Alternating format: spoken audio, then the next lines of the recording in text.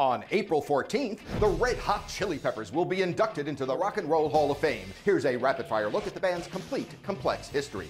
On February 13th, 1983, former Fairfax High friends Anthony Kiedis, Flea, Hillel Slovak, and Jack Irons performed at the Rhythm Lounge in Hollywood under the name of Tony Flow and the Miraculously Majestic Masters of Mayhem. The group proved so popular they proceeded to play gigs as the Red Hot Chili Peppers. Cliff Martinez and Jack Sherman stepped in after Slovak and Irons slipped out to focus on their other band. What is this? In 84, the Red Hot Chili Peppers released their debut album, The Red Hot Chili Peppers. Then Sherman was sacked and replaced by a returning Hillel Slovak. That year they recorded Freaky Styley, an album produced by George Clinton. In 86, the band parted with Martinez and picked back up Irons. The following year, they released the Uplift Mofo Party Plan, their first album to break onto Billboard. Sadly, Slovak died of a heroin overdose on June 25, 1988. Irons quit, so Kiedis and Flea forged on with John Frusciante and Chad Smith. Their lineup released their breakthrough Mother's Milk in 89 and the multi-platinum Blood Sugar Sex Magik in 91. Frusciante fled again in May 92. The Chili Peppers headlined Lollapalooza with fill-in Arik Marshall. Dave Navarro of Jane's Addiction joined the band in 93, leading to one underwhelming album, One Hot Minute. Fortunately, Frusciante returned in 98 and three majorly massive albums followed Californication, by the way, and Stadium Arcadium. In December 2009, Frusciante fled again. Now Josh Klinghoffer handles guitar duties. Their most recent record, I'm With You, was released in August 2011.